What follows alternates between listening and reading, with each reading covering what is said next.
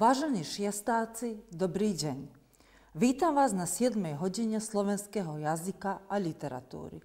Som profesorka Jaroslava Staňová zo základnej školy Maršala Tita v Padine. Pre dneskajšiu hodinu vám bude potrebný zošit, učebnica a ceruska. No môžeme začať. Táto hodina bude mať dve časti. Na úvod si zopakujeme to, čo sme pracovali na minulej hodine. Na minulej hodine sme hovorili o kontakte slovenčiny a srbčiny a robili sme prekladové cvičenia. Na domácu úlohu ste si mali urobiť na strane 37 preklady. Najprv si teraz pozorne otvorte učebnicu, strana 37. Nech si prekontrolujeme, či ste správne urobili. Ja vám prečítam riešenia a vy pozorne pozorujte a ak ste pochybili, tak si to opravíte. No nech začneme. Na úloha znie Pokús sa napísať správne po slovensky tieto slova. Pekara bude pekáreň. Samoposluha, samoobsluha. Hrysko, ihrisko. Pláža, pláž, znamená, tu robíme chyby. V slovenčine je tá pláž, zapamätajte si. Lift, výťah, zichádzať, schádzať, denná izba, obývacia izba, píšeme y, pretože je to vybrané slovo, kupatilo, kúpeľňa, požúriť, poponáhľať, supa, polievka, crtaný film, kreslený film a sladoled, to všetci viete, zmrzlina.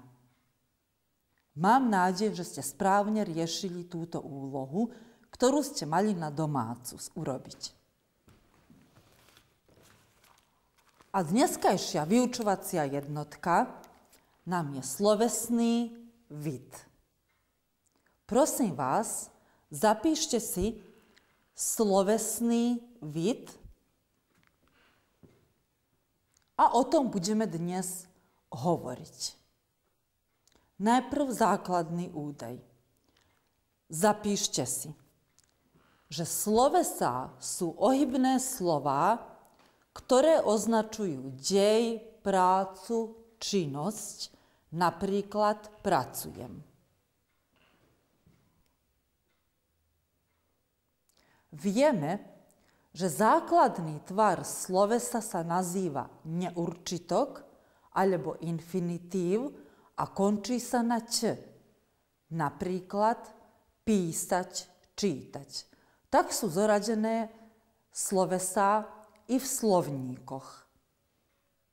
A teraz, milí žiaci, slovesá majú ešte jednu gramatickú kategóriu a to je slovesný vid. Dôležité je, aby ste si zapamätali, že táto gramatická kategória sa nám zjavuje i v srbčine. Znamená, bude vám ľahšie, keď potom budete spracovať učivo zo srbčiny, lebo je to podobné ako v slovenčine. Znamená, slovesný vid v srbčine je glagolský vid. Ja vám budem vysvetľovať a vy si pomaly odpisujte.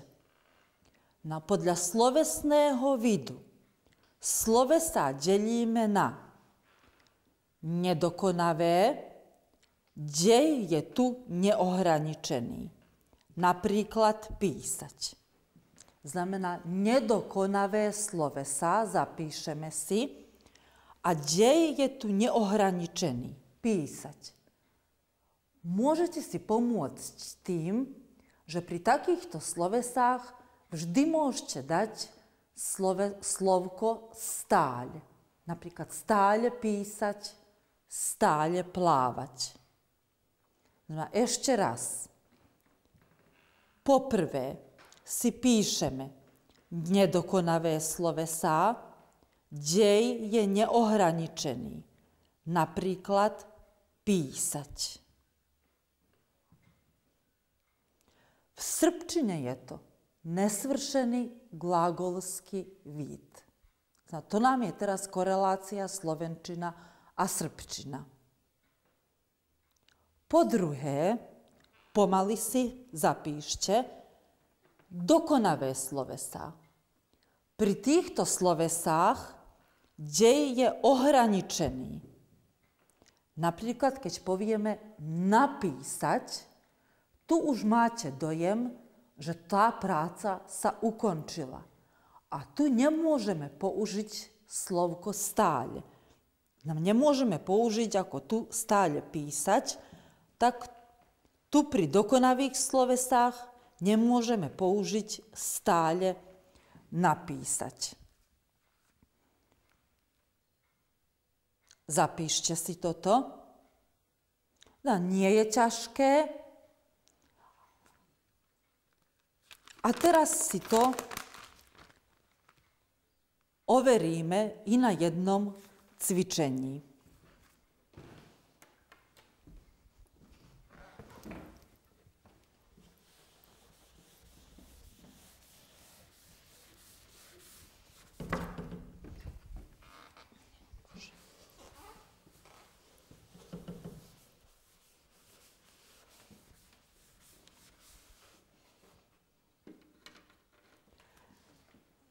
Zapíšeme si nasledujúce slovesá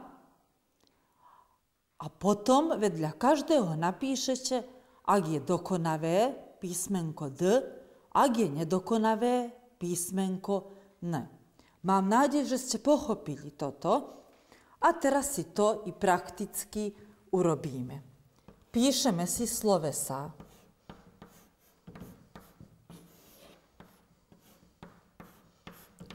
решить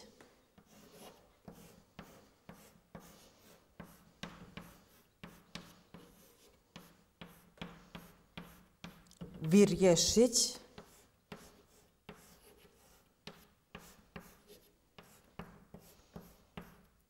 купить.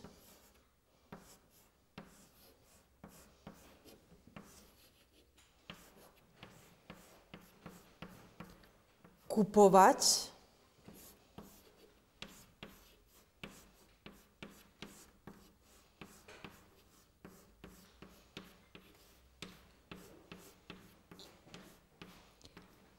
prekračać. Zamena. Zapišće si riješić, virješić. Kupić, kupovać, prekračać. Prvý krok, aby sme riešili túto úlohu, je, že si rozmyslíte, či je toto sloveso v neurčitku, či má ohraničenú prácu, alebo je neohraničená práca. Ak je neohraničená práca, môžeme dať slovko stále a potom nám je to sloveso nedokonavé. Môžeme spoločne začať riešiť. Môžeme povedať stále riešiť. Tak? Takže toto bude sloveso nedokonavé. Ďalej máme vyriešiť. Na vyriešiť. Už tu máte dojem, že tá práca je na nejaký spôsob ukončená. Tak to nám bude sloveso dokonavé. Potom máme kúpiť, na sloveso kúpiť, aj tu máme dojem, že je tá práca ukončená. Znovu nám bude dokonavé sloveso. Ale i rovnaký koreň slova, rovnaké sloveso, ale teraz je v tvare kupovať. Tu môžeme povedať stále kupovať. Preto bude nedokonavé sloveso. Aj máme posledné sloveso prekráčať. No a povieme prekráčať. Dej je uzavretý, ohraničený. Sloveso bude dokonavé. Ešte je dôležité povedať to, že keď napríklad z nedokonavých slovies robíme dokonavé slovesa, že im dodávame nejakú predponu, tak sa nám často mení i význam znamená toho slovesa. Napríklad, máme písať,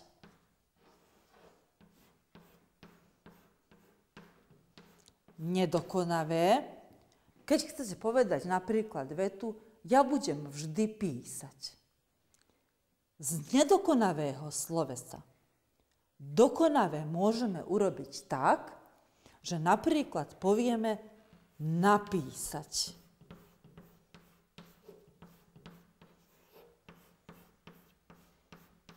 Toto nám bude dokonavé. Vidíme, že sa nám význam slova tu zmenil. Písať je napríklad, ja budem vždy písať, a napísať je už, keď niečo ukončíme. Napríklad, Ivan napísal úlohu. Mám nádej, že ste pochopili túto vyučovaciu jednotku. Na domácu úlohu si podobnú úlohu vypracujete na strane 45 z vašej učebnice Slovenský jazyk a kultúra vyjadrovania. Ďakujem za pozornosť.